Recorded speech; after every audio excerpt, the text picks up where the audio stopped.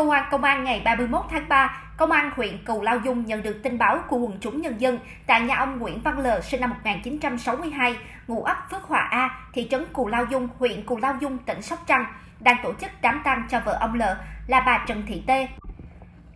Theo cáo phó của gia đình thì bà Tê qua đời ngày 27 tháng 3 năm 2021 tại thị xã Hồng Ngự, tỉnh Đồng Tháp. Gia đình đưa về nhà để tổ chức đám tang. Một điều lạ mà chính quyền địa phương dễ nhận thấy là gia đình bà Tê tổ chức đám tang nhưng không một người thân nào trong gia đình có biểu hiện buồn khóc thương tiếc. Do nghi vấn xác chết bà T được chở về từ vùng dịch giáp biên giới Campuchia, nên Công an huyện Cù Lao Dung kết hợp với Tổ phòng chống dịch COVID-19 của huyện Cù Lao Dung tiến hành phun thuốc khử trùng nơi đám tang và tiến hành kiểm tra quan tài theo quy định về phòng chống dịch.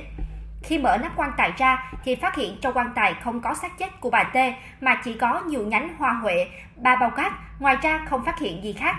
Cơ quan Cảnh sát điều tra Công an huyện Cù Lao Dung kết hợp cùng Viện Kiểm sát Nhân dân huyện tiến hành khám nghiệm hiện trường, thu giữ đồ vật, tài liệu có liên quan. Trong quá trình lực lượng làm việc thì bà T xuất hiện tại gia đình. Cơ quan chức năng đã mời bà Trần Thị Tê, khoảng 60 tuổi, ngụ thị trấn Cù Lao Dung, lên làm việc để làm rõ vụ việc tổ chức đám tang giả tại nhà bà này.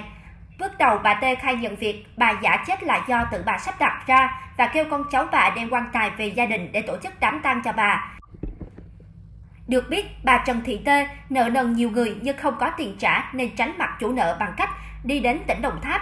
Chiều ngày 29 tháng 3, bà Tê mua một quan tài tại Đồng Tháp rồi thuê xe chở về nhà để gia đình tổ chức đám tang cho chính mình. Theo nhiều người dân địa phương, việc làm đám tang giả của bà Tê gây ảnh hưởng lớn đến tình hình an ninh trật tự địa phương nên cần được xử lý nghiêm.